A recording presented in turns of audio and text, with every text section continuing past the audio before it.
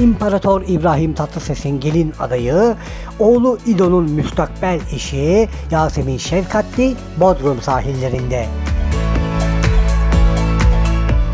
Son olarak 15 gün önce Yasemin Şefkatli ve nişanlısı İdo'yu Çeşme'de bırakmıştık.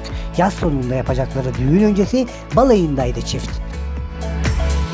İbrahim Tatlıses'in müstakbel gelini Yasemin Şefkatli, nişanlısı İdo'yu İstanbul'a işe güce yolladı. Kendisi Bodrum sahillerinde yoğurt gibi tenini bronza çevirmek için tam 8 saat güneşin altında kaldı. Dakikalarca telefonla konuştu Yasemin Şefkatli. Kuvvetle muhtemel nişanlısı İdo ile konuşuyordu. Durum raporunu verdi, telefonunu kapattı ve şezlonguna uzandı. Ama hiperaktif kızımız yatamıyor iki saniye olduğu yerde. Doğruldu. Akrobatik bir takım hareketlerle yattığı yerden sporunu yaptı.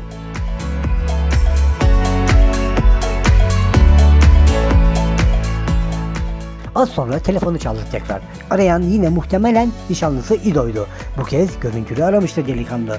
Böyle güzel bir kızı Bodrum gibi bir yerde bir başına bırakmak olmazdı. Saniye başı arıyordu İdo. Hem de görüntülü aramıştı bu kez.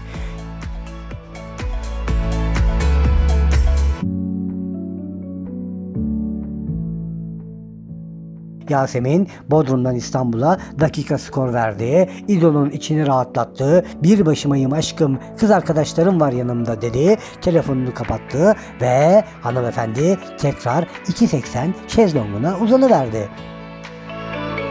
Sırtım da biraz yansın dedi ama sıkıldı. Tekrar ayaklandı. Omuzlarında ve sırtında bikini izi kalmasın diye bikinisini de açtı ve biraz da öyle yandı Yasemin Şefkatli. Haziran olmasına rağmen aylardan Bodrum yanıyor yanıyor. Saatlerdir güneşe teslim olan Yasemin Şefkatli sonunda bunaldı. Kendini serin sulara bıraktı.